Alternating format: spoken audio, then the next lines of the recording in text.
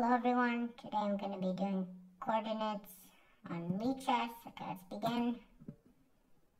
F3, C6, G2, F4, E1, G7, E5, G2, G7, A1, D6, G2, D3, G6, B8, 1, C8, E2, G5, 2, D5, C2, F3, D6, b3, uh,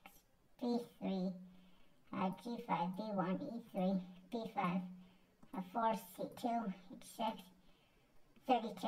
Okay, not bad. pretty bad at this. Let's go again. d5, uh, h, b3, f6, b5, d4, c6, b3, a5, c3, e7, g2, c3, e2, f1, h3, b2, d8, 4, 1, 3, P1, D5, B3, 7, F1, 3, P4, B5, G1, C7, G2, B5, 33, oh yeah, beat that, nice. Okay, go again, have to beat that.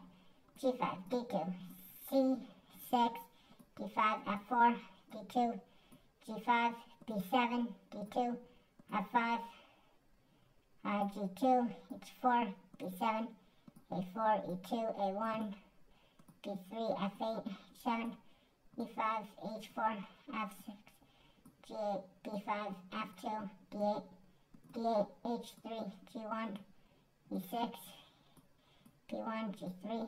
Oh no. Okay, let's go again. H8, E4, C2, E3, H8, F3, G7, 6, B8, G2, F8, P4, D6, C4, E8, G6, P7, F2, A6, G3, E2, P5, A3, D2, H7, G2, H3, A8, E6, H4, B1, H4, E2, 32. Wow, this is hard. Go, go, go, let's try to beat 40 b4, e7, 3, b7, 4, g8, c1, a8, a8, e3, c7, h3, g4, d7, 2, c4, d3, g5, e6, a1, d4, p1, c7,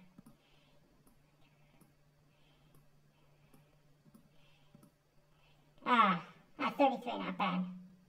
Okay, let's go one last time. Fun. H6, F7, H2, C4, F6, G2, C3, A8, B4, D3, C2, B8, E3, F8, H4, F3, B7, E2, D5, E7, H2, D3, E5, G2, E6, D1, C3, E5, D7, A5, F7, E5, D1, B3, C 34. Okay, nice. Finally, I beat the record again. Okay? Thank you guys for watching.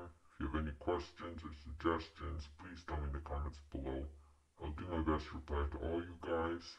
Also, please subscribe with notifications on, and most importantly, please share the video. That would really be incredible.